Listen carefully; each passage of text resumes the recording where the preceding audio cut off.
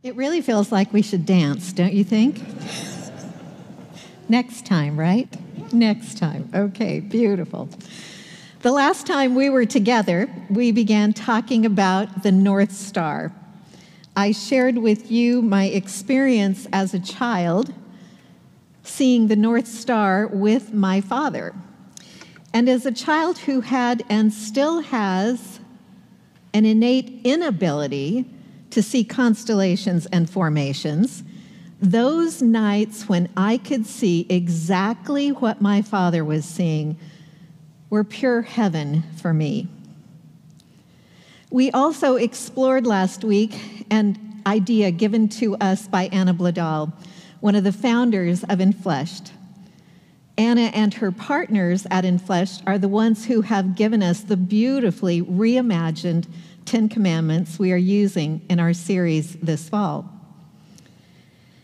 I have thought all week about Anna's belief that at the deepest core of who we are, there is a liberatory that brings a sense of freedom within the rhythms of wholeness and healing and goodness. This is a freedom that allows us to rethink and reimagine beliefs about ourselves as well as others, and it gives us room to dream what we can all accomplish together. We shared some questions Anna brought to us as our homework for last week. The questions are simple and yet, oh, so vital in helping to ground us in what is really important.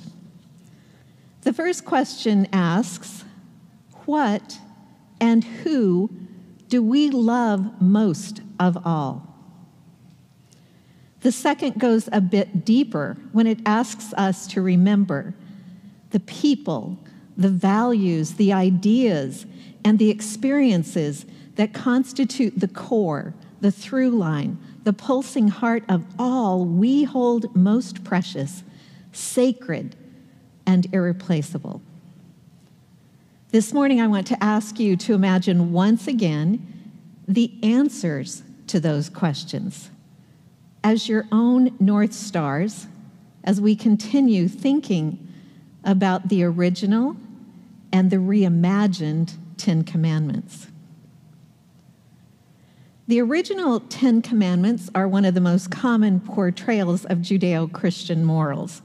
If you were churched as a child, you can probably remember a few of these. They may live somewhere in your unconscious memories. If you didn't grow up churched, or you grew up in another faith or religion, or if you grew up without any religion, you still probably have seen them memorialized in stone in a courthouse or on a monument. And yet, no matter how these moral imperatives have come to us, most of us don't think about them very often.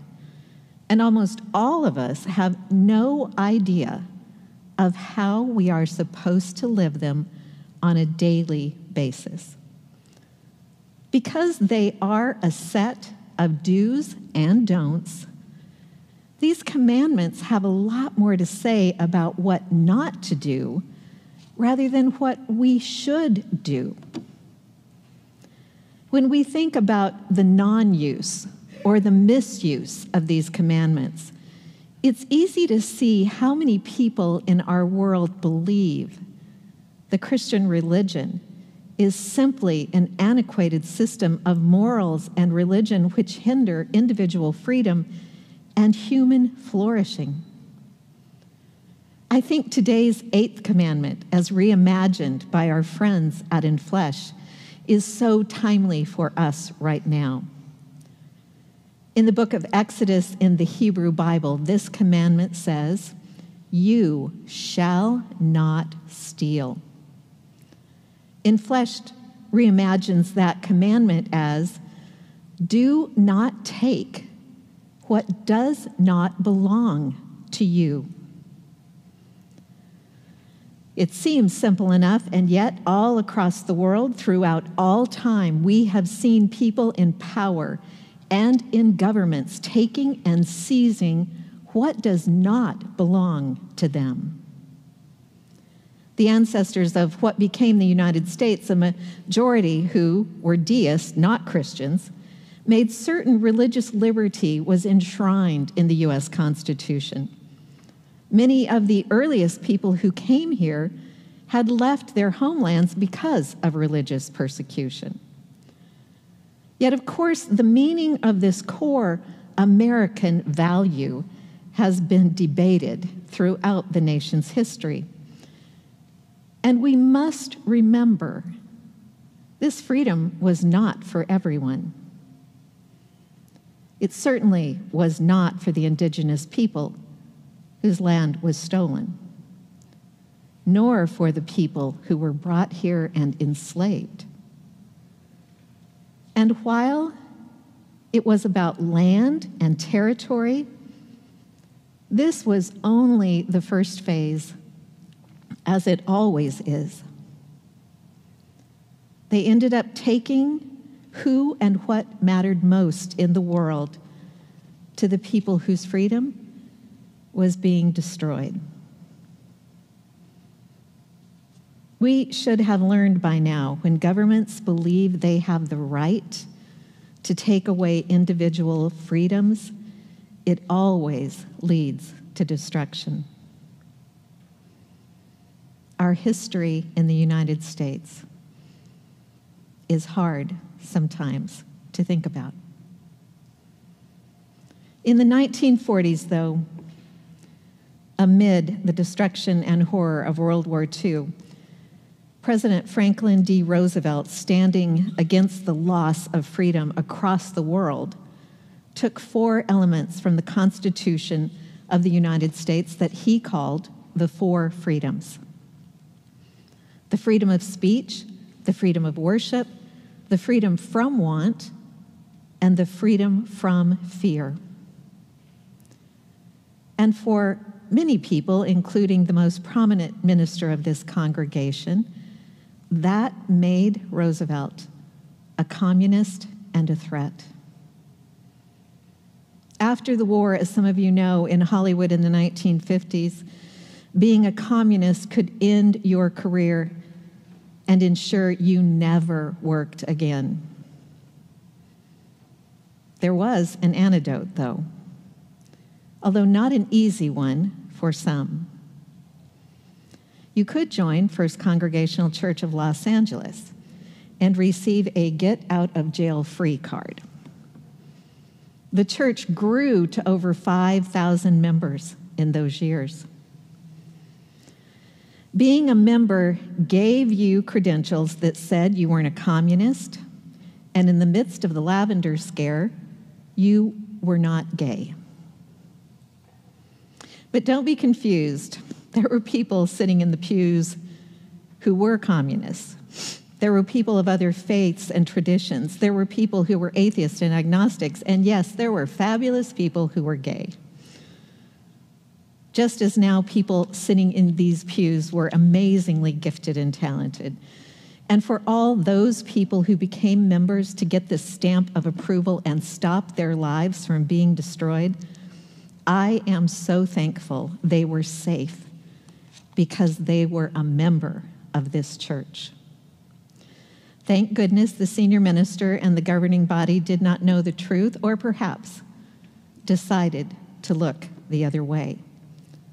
And thank goodness our history is not our present, and it will not be our future. But we are seeing in our time conflicts we thought were long gone, arising now not just from a power or a dictator, but instead from and with a movement known as Christian nationalism. Christian nationalism is an anti democratic notion that America is a nation by and for Christians only. It is becoming more clear all the time the ways in which this is leading to discrimination and the violence we are now seeing against religious minorities and those who are not religious.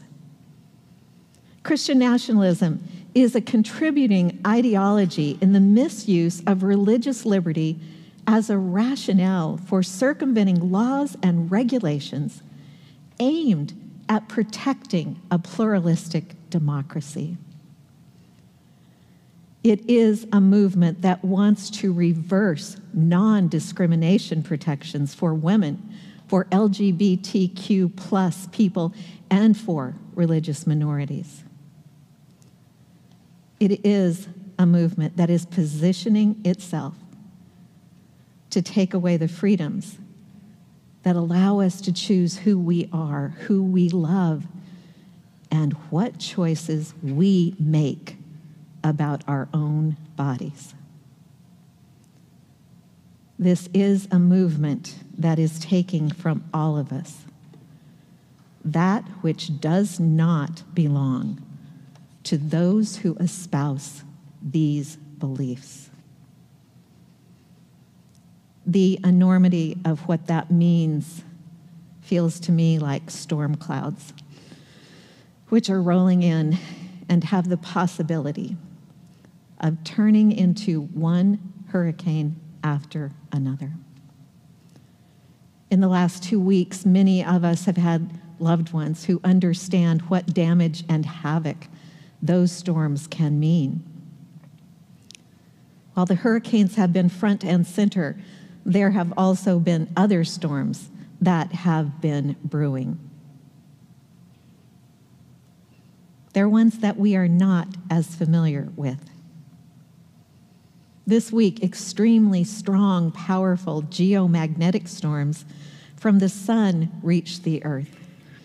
And if you are fortunate enough to live in an area where you can see these northern lights the storms produce, you have been able to see unimaginable beauty.